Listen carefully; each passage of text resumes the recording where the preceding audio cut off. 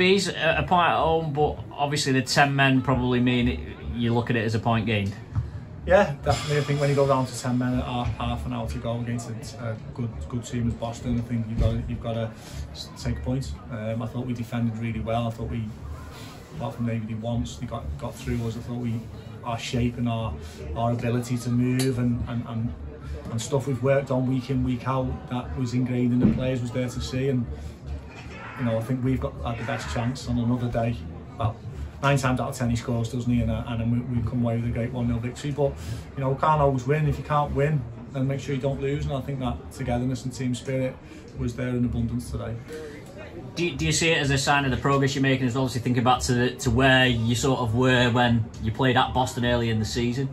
Yeah, definitely, because we went to Boston and, and they were very, very good on the day. And, and probably beat us comfortably. Um, and we've, they've come here and, and they've changed the shape a little bit, and which is maybe a compliment to us. And you know they've got two ways of playing: in possession, out of possession, which is really, really good. You can see they're well coached. You can see they've got a bit more time than us with their you know time in the day and stuff. But you know it's a compliment to, to us that teams want to come here and thinking about us a little bit and what we what threat we have. And I thought it definitely a sign of progress. What did you make of, of Matt Gravosti and the red card? It, it was sort of a shame it happened to him because he was really coming into the game at that stage. Well, that's it. I think it's a shame because the second half. I think we just start, got a foothold in the game, um, and we were starting to look dangerous, especially down the left side. And obviously, it's a professional foul. It's a red card. I just my only question live would be: Was he getting the ball?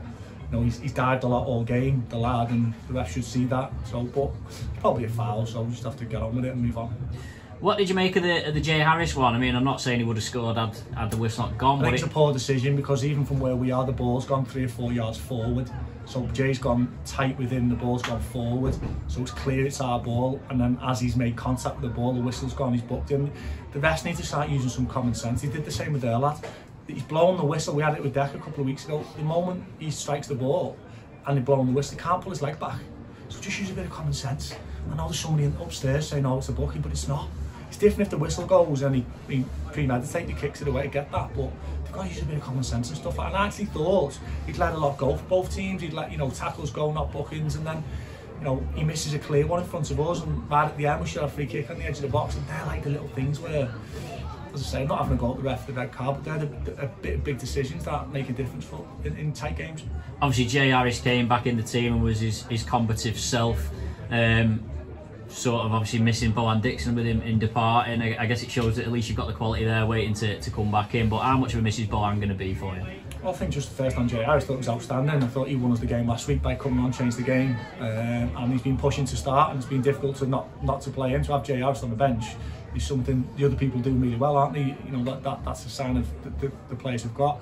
Obviously, Bohan, we, we spoke about, it's a big miss. You know, he's loved by the club, he's loved by the players, he's loved by the supporters. He, he's, he'll go down as one of, one of Warrington's greatest players that I know of. Um, and he leaves everyone's blessing. Do we want him to go? No. But sometimes, it, you know, the decision gets taken out of your hands by, by, by what he was offered, and we just got to move on. We, we, we all we're all disappointed, but we you know we look at the stuff he's done for us and and all the outstanding goals and assists he's got, and we, and we, and we thankful we've worked with him or seen him play.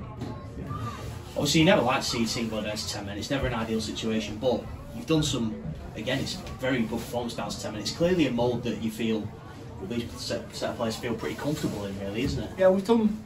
We've spoke a lot, you know, early season about you will go down to ten men. Unfortunately, the level of referees that you're going to go down to ten men. So it's important we have good shape about us and we're constantly working on things like that. And then when it does happen, you don't know when it's going to happen. That they, they can adapt to it. And I thought we were good. And as I say, normally when teams go down to 10 men they get that extra bit of resilience and we've got that in abundance we've got that team spirit and resilience so it negates the, the extra man and I just thought you know teams with 11 men they try and force it you know South Shields here and and we nearly on another day win 1-0 Absolutely.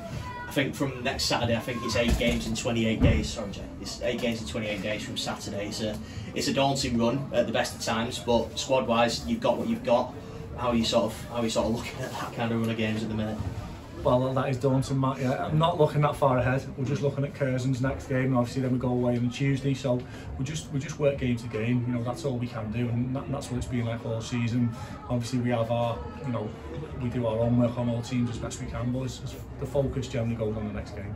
You, you have brought someone in, Casper uh, Casper Pasiak. He didn't get on the pitch today, but uh, a guy you feel will, will add something to the squad for the next month or so. Yeah, definitely. Yeah, you know, we, we've watched him a few times. You know, he's highly thought of at Preston, and we've got a really good relationship relationship with Preston. He's, as I said, he's someone who we may be looking at early next year, but to get the opportunity to take him now is a bonus. And obviously, with Matty getting sent off today, you know, give, gives him opportunity next week.